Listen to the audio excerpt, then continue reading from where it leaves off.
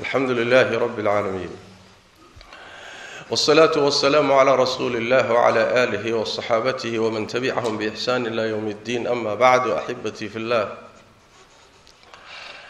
waxaan idin dardaarmayaa ilaahay cabsidiisa tabaaraka wa tacaala iyo inaad dariiqiisa laasimtaan waxaan idinka digayaa ilaahay tabaaraka wa tacaala inaad caasidaan oo dariiqiisa gara martaan khudbadeennu maanta waxay ku saabsan tahay dhacdadii ka dhacday waddanka new zealand. Muslimiin tukanaya oo salaaddii jumcada tukanaya ayaa la weeraray sidaad la wada socotaan konton baa si naxariis darraa loo dilay tiradaas oo kaleetana waa dhaawac. Qaar badani ay dhaawacoodu xun yahay. Su'aashu waxay tahay maxaa loo dilay? Maxaa sababay in la laayo? Maxaa dembi ay galeen? Jawaabta waxa weeye dembigoodu waa inay muslimiin yihiin. Ilaahay tabaaraka wa tacaala siduu qur'aanku inoogu sheegay dadka xun iyo mujrimiinta agtooda marbuu wanaaggu dembi ka noqdaa. Wamaa naqamuu minhum ila an yu'minuu billahi laiiz billahi alcasiizi alxamiid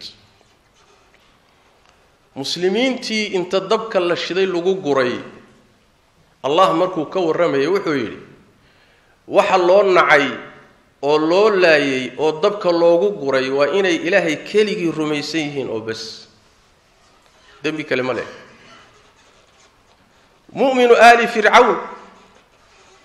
Markii fircoon iyo iyo iyo muxuu ahay golihiisu ay damceen inay dilaan nebi muuse waa dilaynaa. Wuxuu ku yidhi ataqtuluuna rajula an yaquula rabbiy allah. War ninma waxaad ku dilaysaan inuu yidhi oo keliya rabbigay waa allah. Fircoon rabbi iima aha sanamna rabbi iima aha. Alla keligii baa rabbi ama intaasaad ku dilaysaan oo dembi uga dhigaysaan. Saas daraaddeed mujrimiintu mar baa wanaaggu xumaan noqdaa. Mar baa wanaaggu dembi noqdaa. Leanna bini aadamka tasawurkiisii iyo maskaxdiisii baa isbedeshay. Mar baa tahaarada iyo tahirnaanta iyo akhlaaqda wanaagsani xumaan noqota nabiyullaahi luut calayhi wacalaa nabiyina asalaatu wassalaam qowmkiisii markuu dhex joogo isagii iyo qoyskiisa base ay ka badbaadeen oo ay raggu xumaanta isku samaynayaan oo uu xumaantii ka reebay. Waxay yidhaahdeen akhrijuuhum min qaryatikum innahum unaasun yatataharuun magaaladiinna ka saara iyo deegaankiina luut iyo dadka la socda maxaa dembigay galeen? Waa dad isdaahirinaya waay war haddaan la isdaahirin maxaa la samayn lahaa? Isdaahirintii baa dembi ah. Sidaas daraaddeed tawxiidkii baa dembi ah. Akhlaaqdii wanaagsanayd baa dembi ah. Wanaaggii ilaahay khalqiga faray baa dembi ah. Kaasaa la isku dilayaa wax kale ma aha. Xoolo la yskama qaadin arsaaqna la yskama qaadin laakiin mabaadii baa la dilayaa. Arrinta aynu u baahannahay inaan fahanaayo waxay tahay.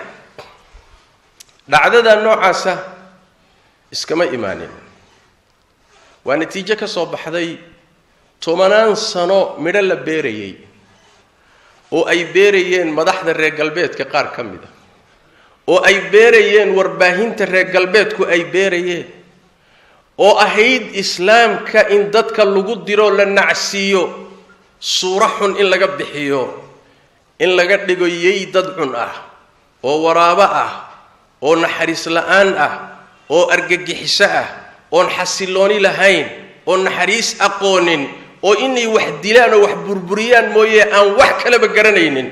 Tacliimta noocaasa muddo dheer iclaamka reer galbeedka ka socotay madaxdooda iyo siyaasiyiintooduna ay dheefinayeen oo ay xoojinayeen.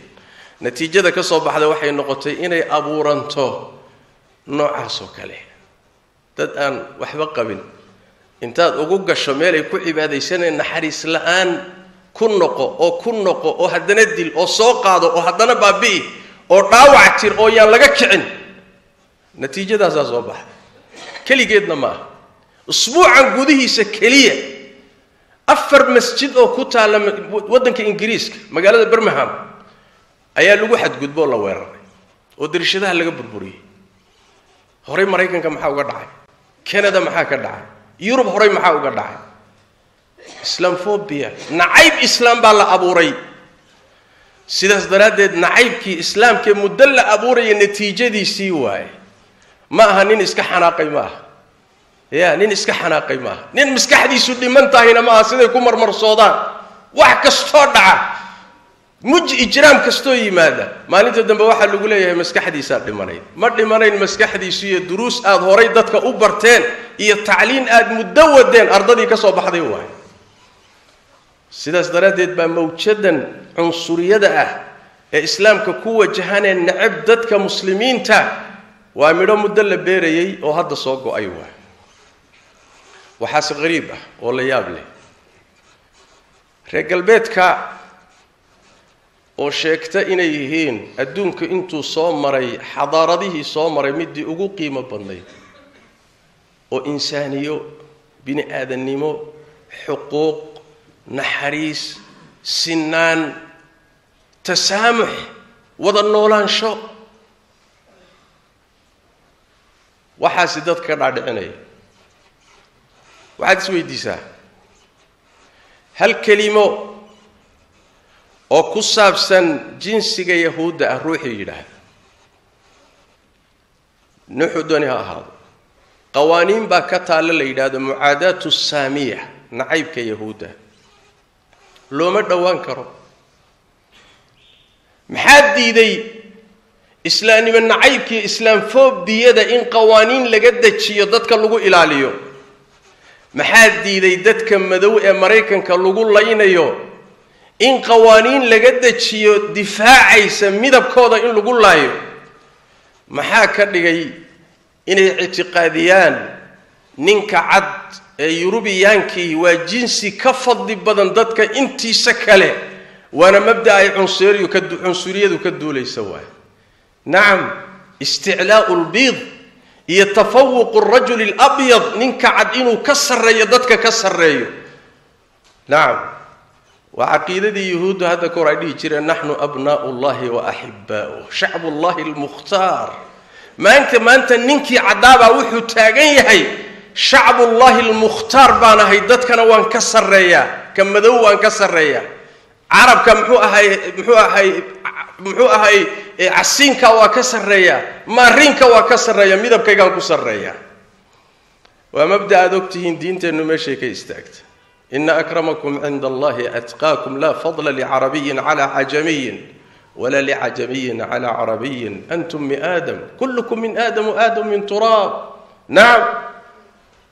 Ma aha marka dabaqo hoose iyo dad hoose oo masaakiina fikiray rumaysan yihiin ma ahee axsaab xoog badan ayaa fikirka noocaasa maanta doorasho ku gelaysa bal kaga mid ah waddamada reer galbeedka kaga mid a laga yaabana sanadaha soo socda inay qabsadaanba waddamadaasi bal dowladda adduunka ugu xoog badan maraykanka madaxeeda u sarreeya waa cunsuri. Muslimiinta necab oo madowga necab oo dadka yimaada necab oo carabta necab oo dadka midabkooda iyo jinsigooda iyo diintooda ku necab. Su'aal isweydii marka. Aaway waxay reer galbeedku sheeganayeen. Aaway sinaantii aaway cadaaladii. Aaway xuquuqdii. Limaada markay timaado muslim qadiyadiisu timaadiyo in lagu xadgudbana waa cunfi waa xadgudub dhacay. Hal nin baa ku kacay markii mid diinta islaamka ku abtirsanaya fal aan nina ku waafaqsanayn sameeyana waxaa la leeyahay alislaamu alirhaabi diinta islaamkaa loogu abtirinaya. Nin kastoo muslim oo meel joogana waa ku gowracan yahay uurjiif hooyadii ku gowracan nin kasta milyaar iyo nisfu milyaarka muslimka ah tasarufaadka ay dadka qaarkood samaynayaan diinta islaamka ku abtirsanaya waa ku gowracan yihiin mid iyaga ka mid oy tarbiyeeyeen markuu wax noocaasoo ku kacanana waxaa la leeyahay maskaxduu ka jiraya ma fayooba. Bilaahi calayka bal isweydiiye aaway xadaaradii reer galbeedku aaway. Gabadh muslimadoo soomaali ah oo kongareska maraykanka ku jirta. Ayaa kelimo saxa ku hadashay. Israa'iil oo xadgudubka la arko wadda sida ay maraykanka dhaqaalihiisa uga faa'iidaysanaysay hal taqriido yar ka qortay maraykankii waa kacay mana fadhiisanay madaxweynihii waa kacay. Ilaa loo fagaareeyey gabadhaas iyo madaxweynihii dhanaayo dalka. Labadii xisbiba waa kaceen ee waddanka ka tirin jira dimuqraatiga iyo jumhuurigiiba waa kaceen. Gabadhaa yartaa lala dagaalamaya. Xaqiiqay sheegtay. Markaasaa waxaa la leeyahy hala iscasisho ha la eriyo. Leesh. Boqolaal madowa markii la laayana macno male masaajidda muslimiinta marka la galana macno male madaxuu ka jiran wax ka soo qaad male risaaladaasi waxay ku socotaa qaar badan oo innaga inaga mid ah oo ay cajab gelisay reer galbeedku oo ay la qumanaatay thaqaafada reer galbeedku oo u qaatay adduunkii inuuba ku dhammaaday thaqaafada reer galbeedka oo labraaliyiin iyo cilmaaniyiin ah oo na jiidayo noo jiidayo inaan reer galbeedka ku dayanno iyo dhaqamadooda akhlaaqdeenna iyo dhaqankeenna iyo hiddaheenna iyo waxeenina aynu ka tagno. Risaaladaasi waxay ku socotaa fasira waa idin kale dadka ha lagu dayda reer galbeedka noo fasira noo fasira. Maxay yihiin waxyaalaha nooca? Dhacdooyin nin walba akhrinaya waay maanta wax qarsooni ma jiro. Intaa kadib rasaa'il dhowr ah ayaan doonayaa inaan muslimiinta u gudbino khaasatan muslimiinta aqaliyeedka laga tiro badan yahay dhulalka gaalada ku nool. Qodobka koobaadi waxa weeye ama risaalada koobaadi. Waxa weeyaan diintiinna ku sugnaada. Caqiidadiinna ku sabra. Wixii dhacaya ha dhaco ha laydinku dilo ha laydinku dilo. Leanna waa la wada dhiman geeridu waa xaq. Laakiin inaad tawxiid ku dhimato iyo inaad gaalnimo ku dhimato farqigu intaas waay. Inaad dhimato adoo tukanayo lagu dilo waa shahaada. Shahaada waa dhimashatii ugu qiimo badnayd waay. Ruuxa muslimka ah haddii diintiisa loo dilo oo caqiidadiisa loo dilo oo akhlaaqdiisa loo dilo xataa gogashiisa iyo gurigiisaba ha lagu dilay waa shahiid ilaahay baan uga baryaynaa tabarak wa tacala inuu shahaadadooda aqbalo. Muslimiinta la leehay nabigeenna salawaatu rabbi wasalaamu caleyh waxaa ka sugan isaga iyo saaxiibkii abubakar iyo cumar iyo cuhmaan baa waxay fuuleen buurta uxud ayagoo buurta korkeeda saaran ayay buurtii dhaqdhaqaaqday.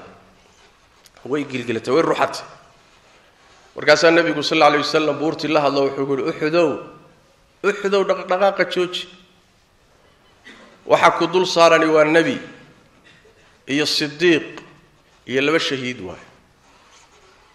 Nebiga garanay sadiiqana garanay waa abubakar labada shahiid yay waa cumar iyo cuhmaan radia allahu tacaala canhum ajmaciin cumar waxaa lagu dilay magaalada madiine isagoo jooga furin dagaal laguma dilin isagoo muslimiinta tujinaya masaajidka nebiga sal alay wasalam baa la dhaawacay kadibna sidaasuu ku dhintay radia allahu tacaala canhu waardaa wamaca dalika nebigu wuxuu uga markhaati kacay inuu shahiid yahay.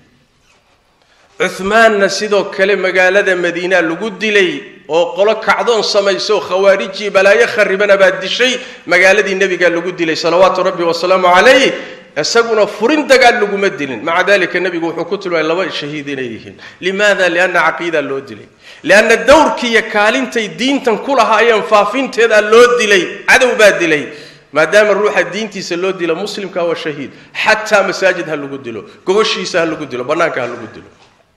Sidaas daraaddeed geeri fiican way inaad qabsataan oo diintiina ku dhimataan ood ku noolaataan wax ka fiicani ma jiro. Ilaahayna qur'aanka kariimka wuxuu inugu baray duruus buu inugu siiyey dadka muslimiinta markay xaalad adag galaan inay diintooda ku dhintaan oo ayna marna diintoodii akhlaaqdooda ka noqonin.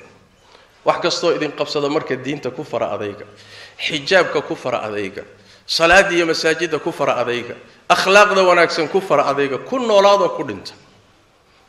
Qodobka labaad iyo risaalo labaadi waxay tahay dadka aada dhex joogtaan hadday iyagu idin necab yihiin ama qaar idin necab ku jiraan idinku muslimiin baa tihiin dad risaalo iyo mabda' xambaarsan baa tihiin naxariis baad u xambaarsan tihiin khalqiga iyo aadamaha sidaas daraaddeed raad wanaagsan kaga taga akhlaaq wanaagsan ku soo jiita dhaqan fiican kula dhaqma diinta gaadhsiiya naarta ay gelayaan uga naxariista u danqada nebigeenna salawaatu rabbi wasalaam marxalada noocaas oo kalea markuu ku jiray gaalada dhibkeeda waxaa la yidhi isaga dulqaado iska cafi. Saa la yidhi nabiga salawaatu rabbi wasalam marxalo mucayanay ahayd.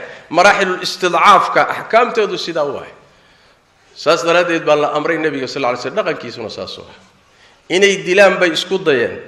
Kii dul istaagaye fee seefta la dul istaagaye inuu dilo damcay markay seeftii ka dhacday oo nebigu qaatay oo uu ku yidhi yaa iga kaa celinaya wuxuu yidhi maxamedow nin seef qaada ninka ugu fiican noqo iska kaydaa. Kac iska tag buu nebigu yihi salawaatu rabbi wasalaamu calayh saxaabadiisii ku qamaamaysayna waa ka celiya rasuulku salawaatu rabbi wasalaamu calayh way dilayaan isaguna waa cafinaya ya inay dilaan bay isku daya waa caayayaan isaguna diin buu gaadhsiinayaa tawxiidkuu gaadhsiinayaa noloshiisa salawaatu rabbi wasalaamu caleyh baa cidhiidhi buu gelinayaa si uu iyaga uga saaro gaalnimada.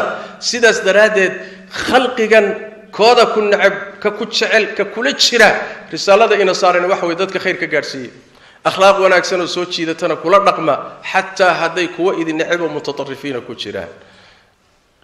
Miaal waxaa inoo ah saxaabadii nabigeenna salawaatu rabbi wasalaamu caleyh dhulkii ay ku noolaayeenoo maka markay ka carareen oo ku noolaan waayeen oo ka hijroodeen tolkood baa laayey tolkood baa cadaadiyey xoolahoodii baa la qaatay waa la rafaadiyey qaar baa la laayey markaasaa loo idmay inay hijroodaan oo dhulka isaga tagaan. Nebigu sal alla lay wasalam wuxuu ku jiheeyey inay aadaan ardulxabasha halkaa waxaa ku nool nin boqor ah oon dad agtiisa dadka lagu dulmiyin halkaasay aadeen saxaabadii nebigu sal alla lay wasalam markay ardulxabasha tageen keliya qaxooti mayna ahayn. Qaxooti baa tihiin maxaad qaban kartaan ma ahayn. Waxay sameeyeen oy kaga tageen raad laga tago kii ugu qiimo badnaa. Waxay sabab u noqdeen inuu soo islaamo boqorkii dalka haystay najaashi. Maalinkaa boqorka ay islaamiyeen ilaa maantana dhulkaasi diinta islaamku kama dabargoyn raad fiican bay ka tageen. Sidaas daraaddeed raad fiican kaga taga mujtamacaadka aad dhex joogtaan idinkoo isticmaalaya wasaaisha ilahay idiin baneeyay tabaaraka wa qodobka xigaay waxa weeye risaalada xigtaay. Mu'minku meel kastoo uu joogo khaasatan meelaha khatartu ka jirto waxaa loo baahanya inuu taxadarkiisa yeesho. Taxadara qaata ijraa'aadka wiqaa'iga ah. Leanna shareecadeennu waxay ogoshahay taxadarka bal rabbi wuxuu ina amrayaa tabaaraka wa tacaala qaata.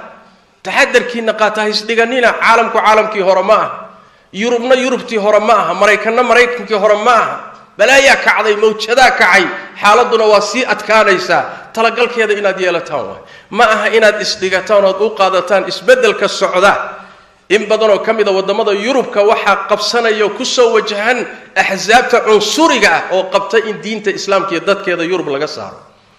Waxaasaa soo kobcaya. Xaaladda marka inaad la socotaan oo taxadarkiina yeelataan waa laga maarmaan. Waxaa sidoo kaleeto mudan inaan tilmaanno. Allah tabaaraka wa tacaala shar keliya ma abuuro.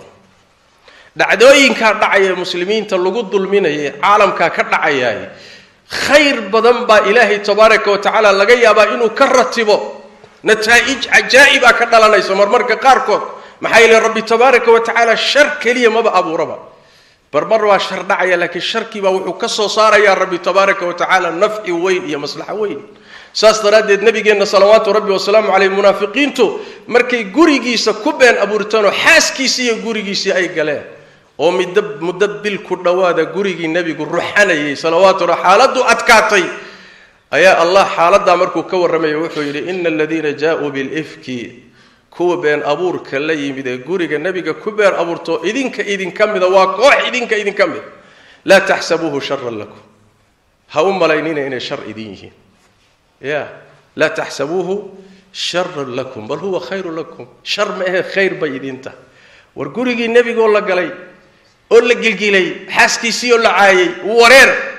Seebay khayr ku noqotay laanna khayrka ka dhashay baa ka weyn sharka ku jira. Sidaas daraaddeed ictidaa'aadka iyo waxyaalaha dhacayaay meesha muslimiinta lagu laayo kontonka lagu dilay waxaa laga yaabaa inay sabab u noqoto boqolaal inay ku islaamaan taas sababteed kumanyaal inay mustaqbalka ku islaamaan dhacdadaas sababteed. Inay intaasoo khalqiga u garaabaan muslimiintu ay sabab u noqoto inay diinta u soo dhowaadaan. Saas daraaddeed mar walba waa inaan fiqiya fahamkeeda yeelano. Dhacdooyinkan allah baa maamulaya reer galbeed ma maamulayo. Hadday iyagu maamulayaanna si kaley u dhigi lahaayeen. Laakiin allah baa kownka ka taliya ee cid kale kama taliso. Qodobka u dambeeya wuxuu yahay oo muhimka ah aafadan muslimiinta qaarna waa qaar meesha tegay oo dhulalkoodii ka tegay. Qaarna waa qaar meesha ku dhashay oo aan beled kaleba lahayn kuwa dalkoodii ka tegay oo dhulkaasi lagu laynayo ama lagu dulminayo waxaa geeyey intooda badan dhulkoodii baa qasmay. Dhulkeennii baynu qasnay dhulkeennii baynu isku laynay. Madax khariban baa ina heshay. Ammaan baa laga waayey noloshiibaa adkaatay naftu xaggay kugu aamintaa iyo carar baa la galay. Sidaas daraaddeed kii dhulkiisa ka tegay in lagu soo celiyo waa in dhulka muslimka la dejiyo waa inay muslimiintu isfahmaan waa in midnimada lagu dadaalo waa in dagaaladan aan macnaha lahayn laga baxo waa in muslimiinta deegaamadooda la dejiyo. Si kii ka tegayna uu jaanisu ugu soo noqdo u helo ka muslimkee dhulkaa ku ciqaaban ee ku dhashayna mahjar iyo meeluu soo hijirooda u helo. Haddaan taa la samaynin muslimiinta dhulkaasi waxaa soo wajahaya xaalad adag iyo challenge iyo taxadiyaad aada u culus. Meel la aadana ma jirto laanna dhulkiibaa sidan u yaalla carab baa sidan u taalla. Innagaa sidan u naalla. Innagaa halkaa isdhignay. Waa inaan marka fahamkeenni iyo fiqigeennu intaa ka weynaado oo dhulkeenni iyo dalalka muslimiinta in la dejiyo madax wanaagsan oo saalixoo dalka iyo dadka u danqanaysana sidii loo hagaajin laha laga fikiro si loo helo muslimiintu ay jaanis iyo cizi iyo sharaf ugu noolaadaan saluu wasalimuu calaa khaatami alanbiyaai waalmursaliin allahuma salli wasalim wabaarik calaa cabdika warasuulika muxamed وعلى آله وصحبه أجمعين وارض اللهم عن الصحابة والتابعين وتابعيهم ومن تبعهم بإحسان إلى يوم الدين اللهم إنا نسألك الهدى والتقى والعفاف والغنى ربنا ظلمنا أنفسنا وإن لم تغفر لنا وترحمنا لنكونن من الخاسرين اللهم يا حي يا ya قيوم برحمتك نستغيث ردنا إليك ردا جميلا ووفقنا لما تحب وترضى. اللهم اغفر للمسلمين والمسلمات والمؤمنين والمؤمنات الأحياء منهم والأموات برحمتك يا أرحم الراحمين. وسبحانك اللهم بحمدك نشهد أن لا إله إلا أنت نستغفرك ونتوب إليك.